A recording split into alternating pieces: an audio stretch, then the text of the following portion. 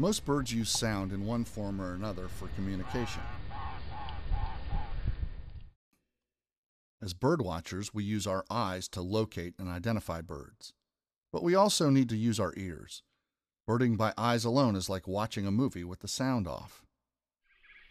Beginning birders may find themselves confused and frustrated on a spring morning when they hear sound in all directions from 20 or more species and perhaps 100 or more individual birds.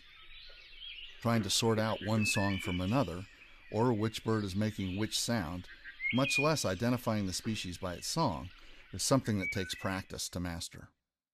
There is no doubt that learning a little bit about bird songs and sounds will add a dimension to your birding and thereby greatly enhance your birding skills and enjoyment. Birds are incredibly vocal creatures, and sound is a huge part of their lives. They make sound in a variety of ways by singing, perhaps exemplified best by our North American songbirds, by drumming their bills on a hard surface, as woodpeckers do, or through the use of specialized feathers, as in courtship display flights of the Wilson snipe and American woodcock. Birds make a lot of different sounds. Each one is species specific, and individual birds of the same species may have slightly different sounding songs. A bird song is typically a complex series of notes that is used to advertise to other birds during courtship of a mate and to determine territorial boundaries with rival males. Songs are sung repeatedly and in most cases only during certain seasons. This is a singing male Baird's sparrow on its territory in North Dakota.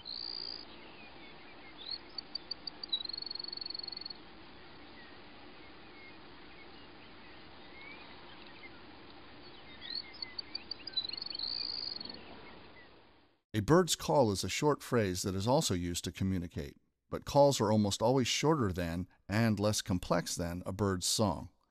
Calls may be used as an alarm to communicate danger to other birds or flockmates, to gather offspring together, or merely to touch base with a mate or to solicit feeding or mating. Here's the call of a herring gull in Maine.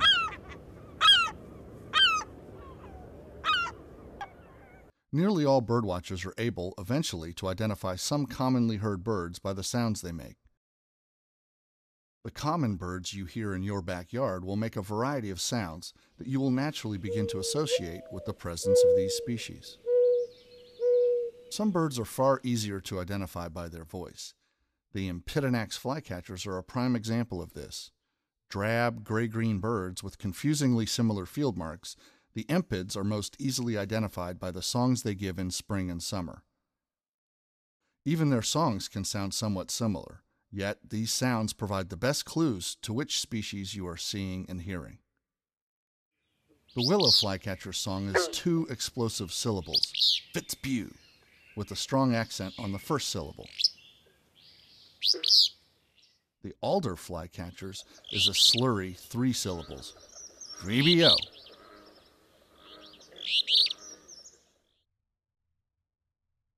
Roger Tory Peterson was gifted with not only phenomenal hearing, but with a knack for identifying birds by sound. His Peterson Field Guide was among the first bird guides to publish mnemonics of bird songs to help make the song patterns more memorable. A mnemonic is a phrase that sounds like what the bird is singing.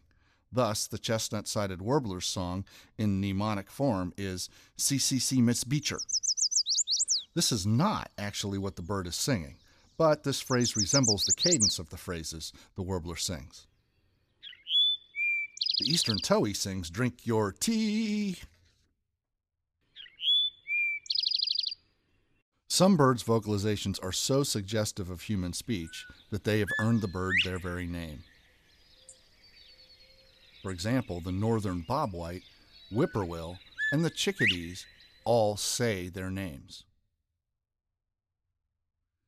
It is important to understand that using mnemonics is not foolproof. You should use them but not rely upon them completely because individual birds have individual variations on their typical songs. A good example is the Carolina wren, whose song is typically represented by the mnemonic tea kettle, tea kettle, tea kettle. But Carolina wrens make a huge variety of songs and sounds. Here is the repertoire of one Carolina wren.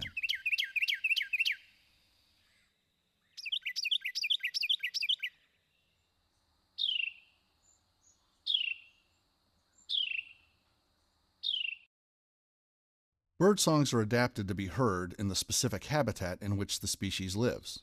Woodland birds, such as the hermit thrush, have rich melodic songs that ring through the woods.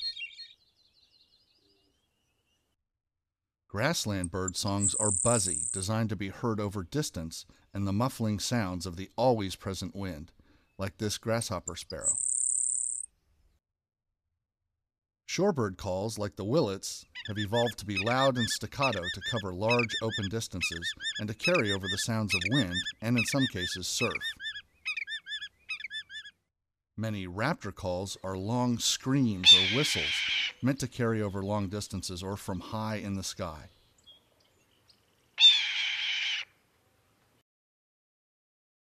Among the non vocal sounds that birders frequently encounter are the drumming of a territorial woodpecker as its bill strikes the wood of a tree in a rapid series of beats, and the low toned thumping of a drumming male ruffed grouse as he flaps his wings rapidly against his breast.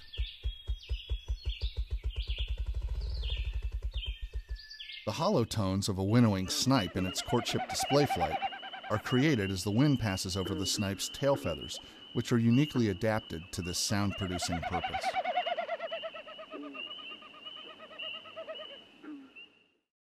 Learning bird songs and sounds takes patience and experience. Here are some tips for birding by ear. Learn your local common birds first. If you hear a strange bird, track it down trying to match the sound with the singer.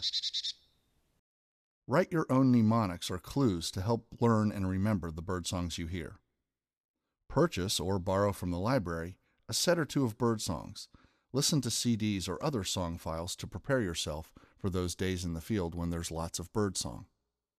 Many birders use iPods and other digital music players as a handy take along birdsong reference. When birding with an experienced leader, ask questions.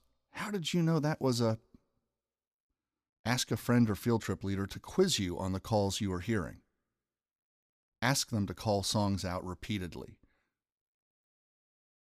Spend time afield just listening and trying to name all the birds you hear. Soon, you'll be able to tune out familiar sounds and focus on unusual or unfamiliar ones. Learning bird songs gets easier with time. The more you practice, the more bird songs you'll learn and retain. The advantage to this is that being able to bird by ear will make you a better bird watcher and will make watching birds even more enjoyable.